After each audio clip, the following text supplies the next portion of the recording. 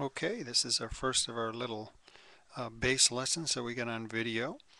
And uh, even though I'm using a regular guitar here, the first four strings are the same, so you would be playing the same thing.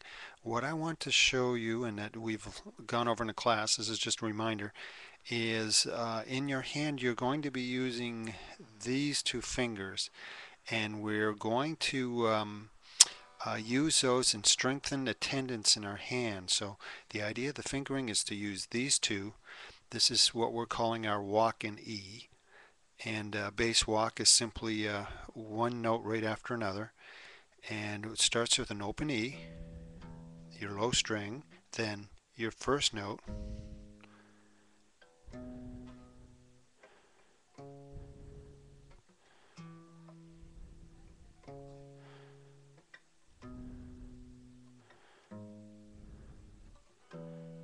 So it's open string, G sharp, B, C sharp, and then your uh, a high E there, and then you just go backwards. So it's all going to be around on your guitar. You probably have a dot on this fret. See if I can get the thing just right here. A dot on this fret and you just play around that dot.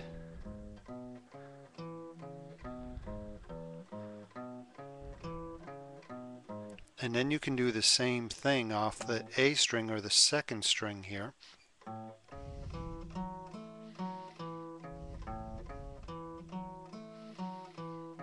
So what we're looking for um, people to do as they're learning is to strengthen your hand by doing that twice, doing that walk repeating it twice on uh, each off of each one of those strings, starting with the low E.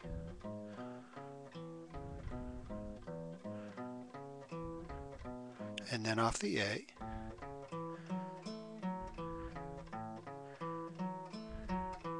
And then two off the low again.